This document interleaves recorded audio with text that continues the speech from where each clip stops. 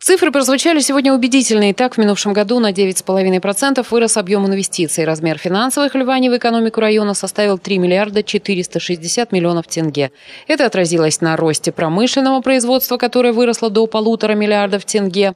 Позволило обеспечить выполнение трех госпрограмм поддержки сельхозтоваропроизводителей, улучшить работу в социальном направлении. Бюджет освоен на 99,6%.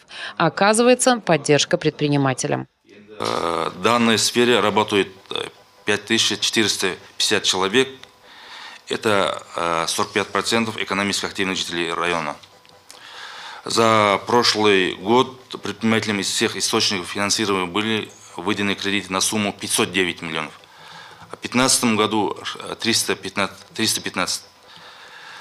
В целях развития семейных форм занятости в прошлом году 79 человек получили кредиты на сумму 1082 э, миллиона тенге.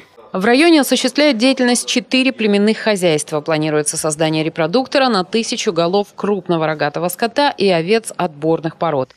На сельхозугодиях выращиваются зерновые и бобовые культуры. Урожайность в минувшем сезоне составила 12 центнеров с гектара. Также в районе стараются обеспечивать местное население рабочими местами. В минувшем году уровень безработицы не превысил прежних отметок.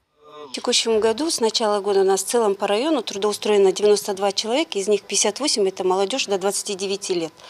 Также у нас было направлено на трехмесячные курсы краткосрочные по семи специальностям.